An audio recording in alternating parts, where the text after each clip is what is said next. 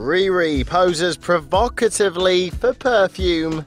Rihanna is known for being a good girl gone bad, and she certainly lived up to her reputation when she posted a series of seductive photos on Twitter. In the pics, the 24 year old went back to being a blonde as she posed topless.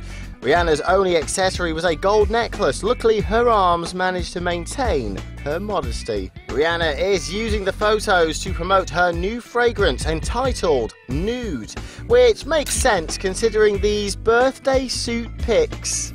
Riri's new photos were taken by her best friend, Melissa Forde. This Barbadian beauty certainly knows how to flirt with the camera.